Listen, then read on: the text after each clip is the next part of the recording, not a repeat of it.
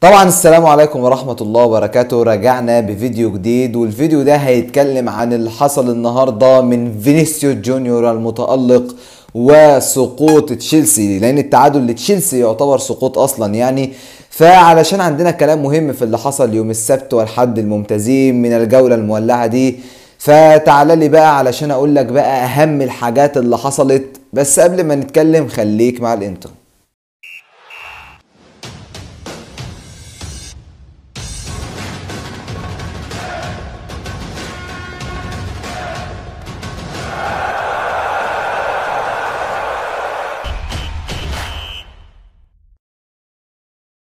طبعا بقى هنبتدي بمباراة يوم الحد وهنبتدي بأول مباراة وهي ريال مدريد ضد إشبيلية اللي انتهت لريال مدريد والميرنجي الجميل بنتيجة 2-1 طبعا. لأن ده ريال مدريد ولأنه بيلعب على ملعبه ولأن في فينيسيو جونيور السينيور يا جدعان. فينيسيو جونيور قلب 180 درجة والفضل كله بيرجع إلى السيد والعبقري أنشيلوتي العالمي اللي خلى فينيسيوس جونيور هو سينيور حرفيا. يعني فينيسيوس جونيور يا جدعان الفينش بتاعه بقى عالي جدا جدا جدا وأعلى لاعب مراوغه في هذا العام لحد دلوقتي طبعا إلى أن يستيقظ ليونيل ميسي بسوبر هاتريك النهارده. بس سوبر هاتريك فين يا جدعان؟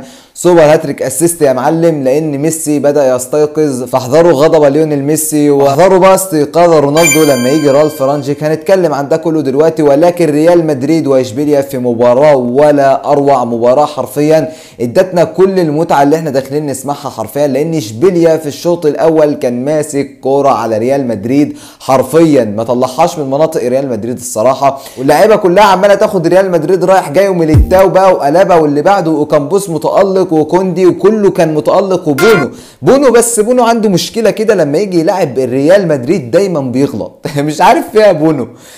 بونو دايما بيغلط قدام ماتشات ريال مدريد غلطات ساذجة. بونو أصلا عامل أداءات ولا أروع في الدوري الأسباني فبيجي قدام ريال مدريد ويغلط غلطات ملهاش أي 60 لازمة. وطبعا بقى كان الحل الأوحد والحل الأمثل لريال مدريد. في الشوط الأول قدام دفاع زي بتاع إشبيليا وقدام تنظيم تنظيم جماعي حرفيا. لوبيتيجي بيقدم حاجات عالمية مع إشبيليا الصراحة يعني تنظيم دفاعي وتنظيم هجومي وكل حاجة في الشوط الأول حرفيا إشبيليا كانت ماسكة الماتش من أول دقيقة لحد الدقيقة 35 بالظبط.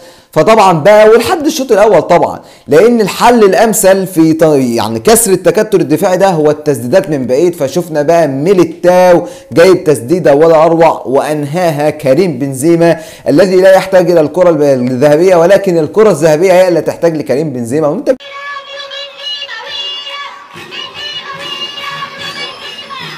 انت بتقول إيه يا ابني؟ لأن هو الحكومة كريم بنزيما لا يحتاج لضربات الجزاء لكي يسجل ولا يخذلك حين تحتاجه لأن ده كريم بنزيما. طبعا علشان كريم بنزيما يا باشا نديله أحلى سلام وأحلى تحية.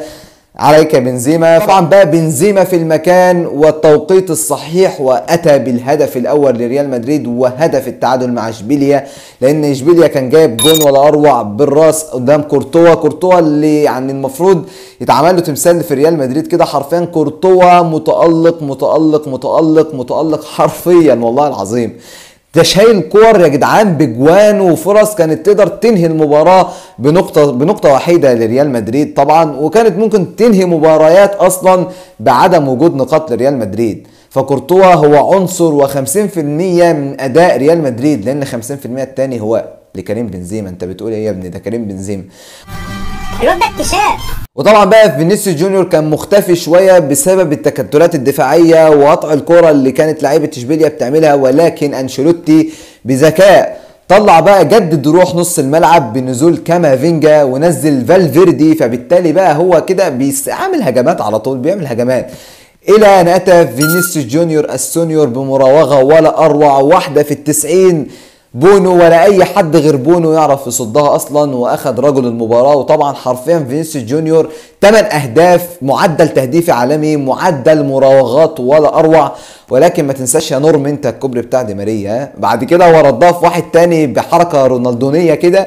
بس برضه كوبري دي ماريا علم عليك يا عم فينيسيوس. قضى على مراوغاتك دي كلها والله العظيم. ففينيسيوس جونيور وريال مدريد استيقظوا من الدقيقة 75 في الشوط الثاني إلى نهاية المباراة. إلى أن أتى المنقذ طبعا فينيسيوس جونيور وأنهى مباراة ريال مدريد بالثلاث نقط والصدارة ملكية. ميرينجي جميل و33 نقطة لريال مدريد ويفضل الصراع باق لريال مدريد واشبيليا دلوقتي في وجود المنافس الأزلي برشلونة. طبعا ما ينفعش برشلونة ما يكونش منافس ولا أتلتيكو مدريد. وفي فرق وفيها ريال منافس. وكل الفرق دي لحد الآن مقدمة أداءات ولا أروع. خلصنا بقى مباراة ريال مدريد واشبيليا نخش على طول لمباراة مانشستر يونايتد وتشيلسي اللي انتهت واحد واحد. طبعا بقى مباراة مانشستر يونايتد وتشيلسي طبعا بقى مانشستر يونايتد ادانا ده يعني ادانا درس كده في يعني إيه ده؟ لسه مانشستر يونايتد هو رالف رانجيك جاي يظبط الأداءات يا جدعان. رالف رانجيك هو العين الثاقبة ومكتشف اللاعبين مثل هالاند وفيرمينو واللي متابع كويس قوي قوي قوي هيعرف إيه أهمية رالف رانجيك ده. كرؤية مستقبلية كإدارة. وجاي ست شهور كده يا بابا مؤقت كده يدرب لحد وهيبقى بقى في الإدارة لحد عام 2024 فطبعا بقى مانشستر يونايتد هنشوف على إيده بقى أكيد حاجات عالمية لأن يورجن كلوب قال في المؤتمر الصحفي هناك مدرب رائع قادم إلى الدوري الإنجليزي ويجب أن نحذر. مكتشف توماس توخيل وجابه من البار جابه من البارات وخلاه طبعا حمسه وحفزه شايف فيه القدرة التدريبية لحد أن وصل توخيل إلى نهائي دوري أبطال أوروبا بفرقة تشيلسي اللي كانت في المركز الخامس. وكان لامبارد معكعك فيها شوية كده إلا إنه اكتشف لنا ماونت طبعا وكذا لعيبة كده وأخذ بيهم دوري أبطال أوروبا في موسم ولا أروع من توخيل وإلى الآن تشيلسي هو من أقوى الفرق اللي, اللي شفناها أصلا يعني. فتشيلسي يعني كان ضاغط على مانشستر يونايتد بالأمارة 15 ركنية لتشيلسي وصاد ركنيتين وجون في آخر الدقائق لمانشستر يونايتد. بس إيه المعضلة؟ إن لوكاكو في صحته وإن كريستيانو رونالدو في صحتهم هما الاثنين ويقعدوا دكة ويقتلوا لنا متعة الماتش. وطبعا بقى مانشستر يونايتد كان شغال يدافع وأنا حلو في الدفاع. خلاص ظبطوا الدفاع شوية ظبطت الدفاع شوية. يقطعوا الكورة استحواذ مفيش استحواذ هم بيقطعوا الكرة كده وخلاص. إحنا كده استفدنا كل من الماتش ان إحنا نقطع الكرة بس هم بالنسبة لهم يقطعوا الكرة ده كأنهم جابوا جول لأنهم بيقطعوا الكرة ما بيعملوش بيها حاجة. بتضيع كده اهو خلاص. تيجي تشيلسي يضغط عليهم ياخد منهم الكرة ولولا الأخطاء أخيرا سانشو سجل في الدوري الإنجليزي وأخيرا سانشو سجل في دوري الأبطال. سانشو راجع تاني وبقوة بس ولكن اخطا خطأ من جورجينيو اللي راح جاب ضربة جزاء بعدها وعوضها طبعا. آه ولكن سانشو يضع الكرة في الجون وطبعا بقى يعني تشيلسي كانت ضغطة ضغطة حرفيا وجيمس الرائع جيمس الباك الرائع والعالمي يعني الصراحة فرقة تشيلسي فرقة ممتعة جدا يعني وكانت ضغطة على مانشستر يونايتد زي ما قلنا. وللمرة ال 500 تشيلسي كانت تستحق ولكن مانشستر يونايتد أخيرا يقدم لمسة دفاعية كده شفناها في الماتش ده. وطبعا بقى كريستيانو كان نازل ياخد كارت أصفر ومش عارف الدون ماله الماتشات اللي جاية ديت. فيا رب يا ربنا يسلم على مانشستر يونايتد بقى ونشوف بقى مانشستر يونايتد من جديد راجعة فده كان كل كلامي عن مباراة تشيلسي ومانشستر يونايتد. نيجي بقى لمباريات يوم السبت وأخيرا برشلونة بانتصار عريض خارج أرضها بنتيجة 3-1 على الغواصات وامري أمام تشافي. وطبعا بقى لأن تشافي تشافي كانت أول مبارياته أمام فيا ريال وطبعا كانت انتهت في التعادل وكانت انتهت بالخسارة ولكن تشافي يرجع من جديد إلى مبنى الغواصات ويكتسح الغواصات بنتيجة 3-1 طبعا في مباراة هي أقرب سنة إلى وجود حظ فيها طبعا لبرشلونة يعني لأن برشلونة حرفيا بيديك يعني بص من أول الدقيقة أول دقيقة بينزلوا فيها الملعب لحد الدقيقة 25 ولا لحد الدقيقة 30 آخرهم من المتعة. تباص هنا وتعمل وتروح ويضيعوا هجمات وممفيس ديباي ممفيس ديباي كابتن ممفيس ديباي صبح يابا أحسن رابر عندكم في هولندا يابا. يعني هو king اللعبة هناك في في هولندا. أنت بتعمل إيه يا عم ممفيس ديباي؟ يا عم جيب جون بقى. هو فينيسيوس جونيور السونيور اداك يعني اداك خلاص اللعنة ولا إيه؟ مش فاهم. المشكلة إنه هداف مع هولندا المشكلة دي المشكلة إنه هداف مع هولندا. فبرشلونة بقى يعني إيريك جارسيا فين؟ يعني إيريك جارسيا اللي جاي من مانشستر سيتي إيه فين إيريك جارسيا؟ أنا مش إيه إيريك جارسيا ده؟ أنت بتهزر يا ابني. هي زريبة يا حبيبي. هي زريبة دي. أنت متخلف يا ابني. مش فاهم أنا الصراحة اللي في الدفاع وبيعجبني كده وبيكيفني لعبه هو أروخو. أروخو ده يعني ذكاء كده في الدفاع حرفيا يعني.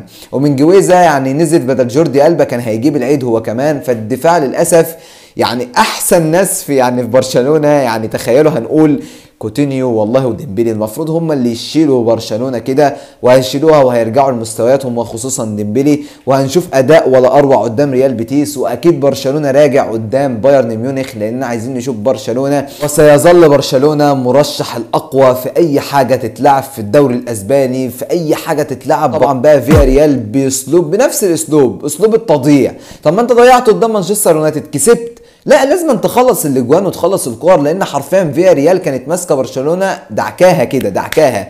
إلى أن أتى ممفيس ديباي بفكرة ذكية كده وقال هكمل الكره من ورا المدافع وحط الكره عالميه في الجون. وطبعا بقى كوتينيو وضربة الجزاء وإعادة الثقة إلى كوتينيو وده أمر مهم جدا جدا يعني. فده بقى كان كل كلامي عن مباراة برشلونة وطبعا فياريال اللي انتهت للبارسا بنتيجة 3-1 وأخيرا البارسا يرجع إلى سكة الانتصارات.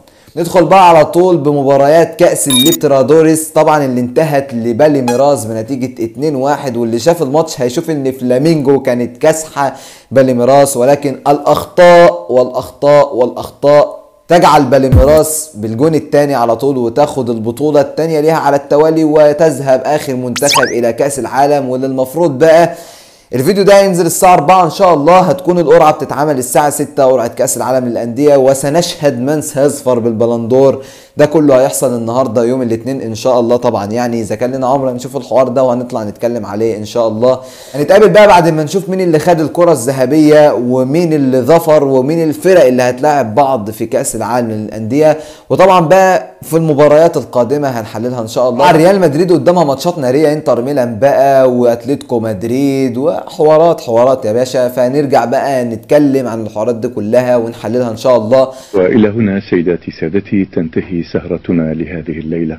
نتمنى لكم جميعا نوما هانئا وتصبحون على خير. فبكده أكون خلصت الفيديو. ما تنساش بقى تعمل like و share و subscribe وتفعل زر الجرس وتوصل الفيديو ده ل 100 like. وتروح على تويتر بتاعي تعمل له follow هناك. هتظهر حساباتي عندك على الشاشة. وهسيبها لكم في link الوصف. بس في فيديوهات جديدة وأجدد. وسلام.